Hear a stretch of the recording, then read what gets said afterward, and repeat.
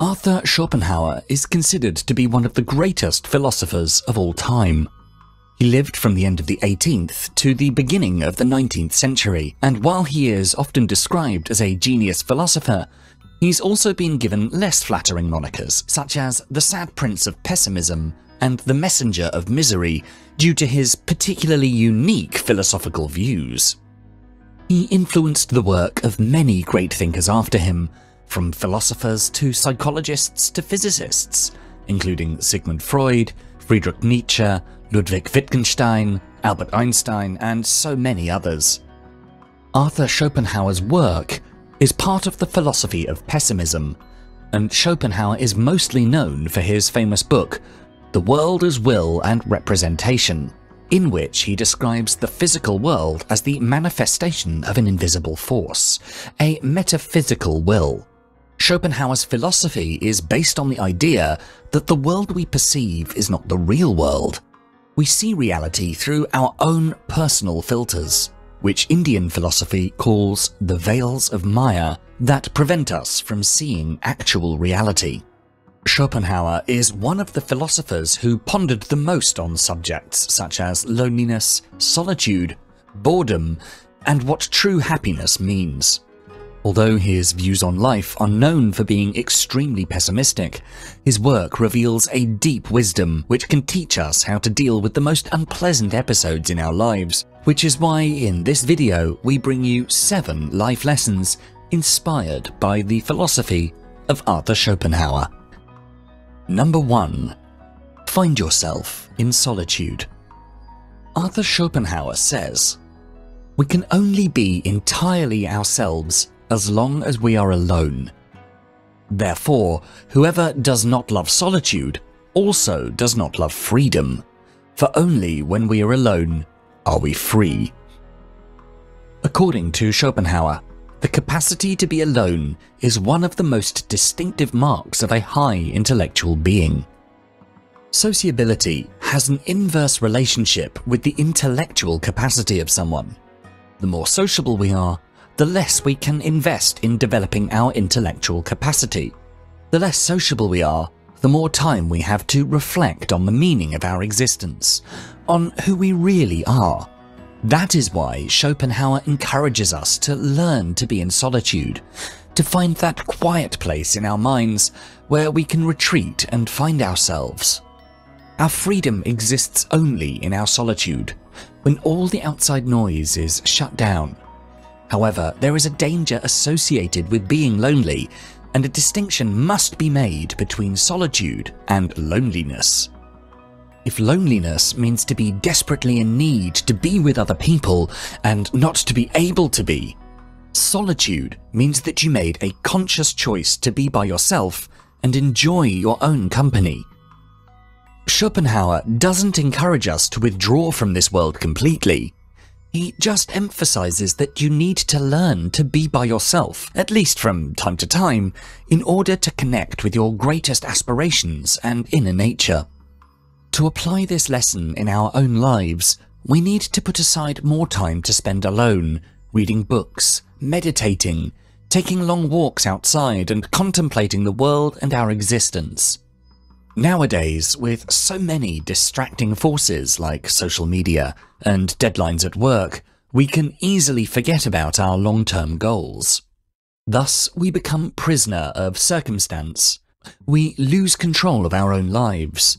The best thing to do to avoid this is to prioritize the time we allocate to ourselves. We need to write me time into our agenda dedicated time in which we can retreat from the outside world. We could schedule a meditation walk to a nearby park, or block a few hours to spend time writing in a journal and to think on your goals in life. Or perhaps spending time reading a philosophy book which could give us new insights into the world around us. Number 2. Remove suffering to be happy. Schopenhauer tells us what is generally called happiness is actually and essentially only ever negative, and absolutely never positive. Oftentimes, Schopenhauer is described as a philosopher who didn't believe in the concept of happiness. This is far from the truth. Schopenhauer didn't link happiness with feelings of joy, pleasure, and ecstasy, which he saw merely as ways to escape from boredom and negativity, but rather he saw in happiness the absence of suffering in the first place. For example, we are not aware of how healthy we are. It's only when we start to feel some sort of pain, such as a headache or stomach upset, that we notice our bodies not operating as normal.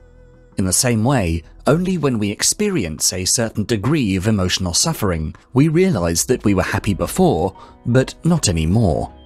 Given this simple fact, in order to be happy, what we need to do is to remember the happy times we had in life, to evaluate where we are now, what kind of suffering we're experiencing at that moment, and make the effort to remove that suffering. To do that, we need to track our happy moments and try to relive them as much as possible. Also, when we experience something unpleasant, we should try to find methods to remove these unpleasant experiences from our lives. It can be a painful process to make all those changes, but it's incredibly worthwhile. If we just focus on getting pleasure from life, it means we ignore the problems instead of facing them until eventually they catch up with us once they've become significant enough issues to be unavoidable. But if we face our problems directly, instead of ignoring them, we will be able to remove the roots of suffering and we can increase the amount of happiness we experience in our lives. For example, consider that you're working in a miserable job that you hate. But you can't leave it because you need to pay the rent and cover your bills. One evening, after a long day at work, you stop in front of your favourite shop and you see a stunning outfit in the window that you desperately want to add to your collection and you're sure will make you feel better. Instead of buying that outfit with your credit card to please yourself for a brief moment, you should try to reflect on the cause of your unhappiness. In our example, you realize that you make too many sacrifices for a job that gives you so little satisfaction. So instead of the short-lived dopamine hit of an impulse shopping spree, you could spend that money on further education to open access to better jobs that will make you happier in the long run, or to start a side business like an eBay shop or a YouTube channel to shift focus away from your day job and begin to build a platform to help you escape it permanently. Number 3. Understand your subconscious mind. To quote Schopenhauer, Man can do what he wills, but he cannot will what he wills. Will is the basis on which Schopenhauer's philosophy as a whole was built. In his main book, entitled The World as Will and Representation, we understand from the concept of will that it is a psychological force that controls our actions. We often find ourselves doing things automatically, like an invisible force controlling us. This is what Schopenhauer calls the will, a blind, irrational force which takes over our minds in many life situations. We often think we are in control of our actions, but actually there's something bigger than ourselves which drives us. We're like the rider on a big elephant, our subconscious. We, the conscious mind, can only guide this elephant, but we cannot fully control it the best thing to do is to become friends with him. Try to understand him better. What drives him? What scares him and guides him on safe land? We need to keep in mind we cannot force him to do anything, but we can help him achieve his goals faster. As a real life example, consider that you want to lose weight. You can try to force yourself to keep a rigid diet, sweat for two hours every day in the gym, but there's a great danger you'll make your elephant angry and he'll protest in the most brutal way, deciding all of a sudden to eat an entire chocolate cake at the end of a difficult day at work. Your elephant will get his revenge if you don't treat him with kindness. To avoid making your elephant angry, you should try to introduce a new tiny habit each day. For example, today you can start eating only one slice of bread at each meal, Tomorrow you can go for a walk for 10 minutes. The day after tomorrow, you can walk for 20 minutes, and so on. Make the changes carefully and systematically if you want to see the long-term results. Number 4. Limit your expectations. Schopenhauer teaches us the safest way of not being very miserable is to not expect to be very happy. Schopenhauer argues that a life with less suffering is much better than a life with the greatest joys. When we're young, we pursue our goals with energy and anxiety, with the far stretched ideals of happiness, chasing professional ambitions to be somebody in society, fighting to be somebody we are not. In other words, we put a lot of stress on ourselves and our expectations are very high. Nowadays, especially, the lifestyles of the rich and famous are presented as a model to follow, but behind the scenes, they often fight with severe issues of drug abuse, depression, and anxiety. We should stop chasing these kinds of ideals. Instead of fighting to acquire or experience things to make us happy, we should focus on minimizing the pain. As we get older, a lot of us realize this pattern and start giving up the frantic pursuit of happiness that kept us miserable in our younger years. We start to focus on minimizing pain rather than pursuing pleasures in life. That invisible will which pushes us towards an endless torture and letting the desires run our lives has less effect when we're older. But certainly, it's much better if we try to practice limiting our expectations from a younger age to live more of those happier years without so much suffering. To do this, we need to work on how we see the world and how we see ourselves. The way we see ourselves and the world is oftentimes the root of our unhappiness.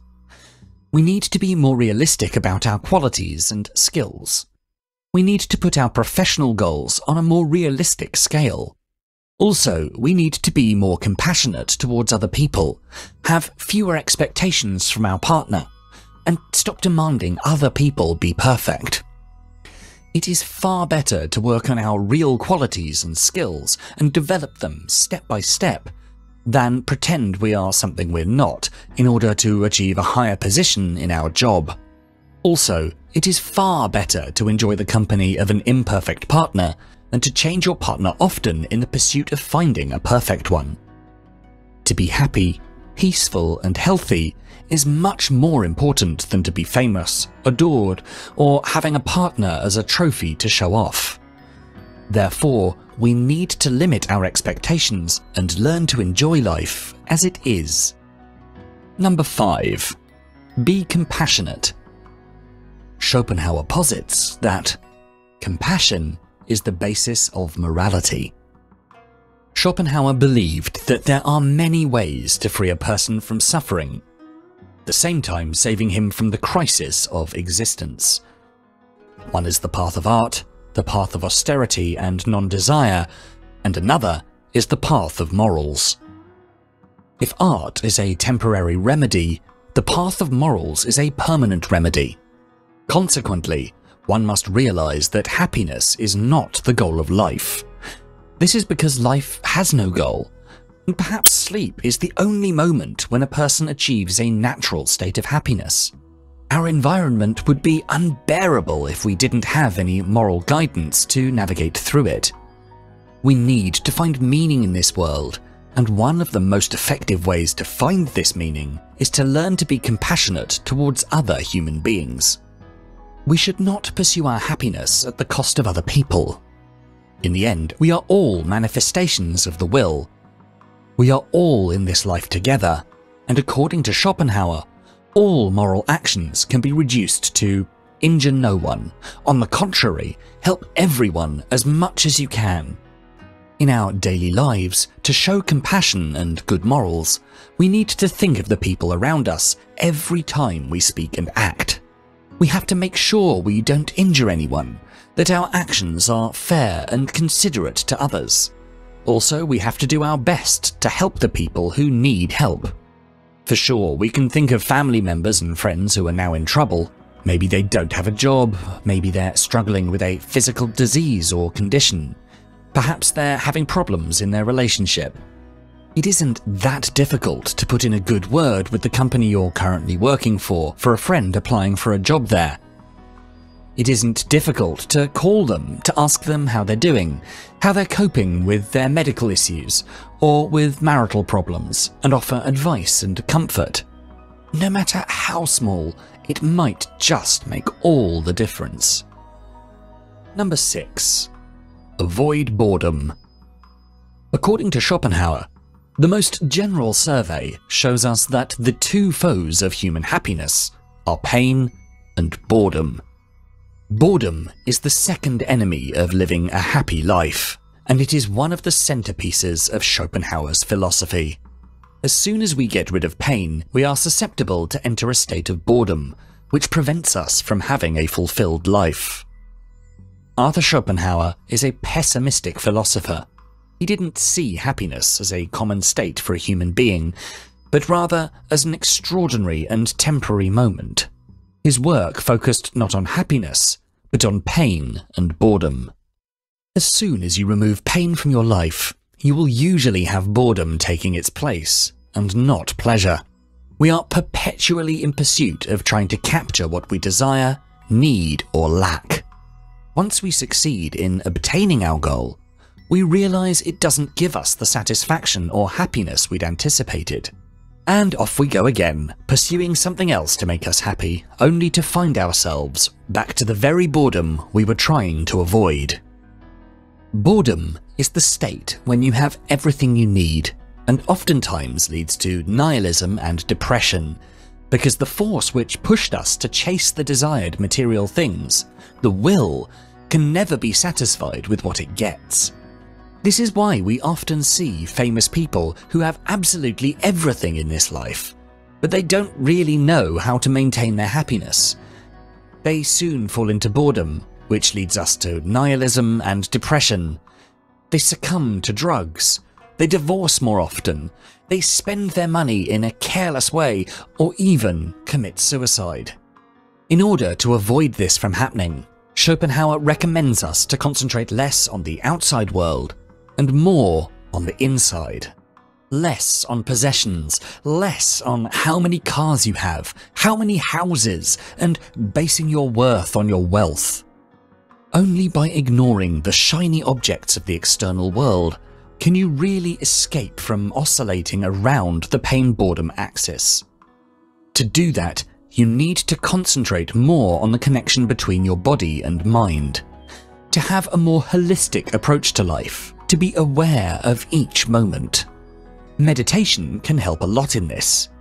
It helps in becoming more conscious of the small things that are essential in life, starting simply with your breath. Also, writing a gratitude journal each morning, counting all the blessings you have in life, can help you avoid taking these things for granted. A gratitude journal is a great shortcut for maintaining a fulfilled life, free from boredom, with the only caveat being that you need to count your inner blessings more. You need to focus on your inner world, on your close relationships, and not on the external world, on possessions, success, or fame. Number 7. Make room for art. In our final quote from Schopenhauer for this video, he tells us the true work of art leads us from that which exists only once and never again, i.e., the individual, to that which exists perpetually and time and time again in innumerable manifestations, the pure form or idea. Schopenhauer was very much influenced by Plato, the ancient Greek philosopher. Plato considered that we are like cavemen. We can see only the shadows of real truths their manifestations in this world, and not their real essence. Schopenhauer, by analogy, considered that we live in a world where the truth is distorted. What we see is not the essence of reality. We can only see the shadows. The will to live is what keeps us prisoners in the cave, manipulating our lives like we're some kind of puppet, keeping us in the cycle of pain and boredom. There is one great way to temporarily escape from this cave, from our ordinary life, and this is through art.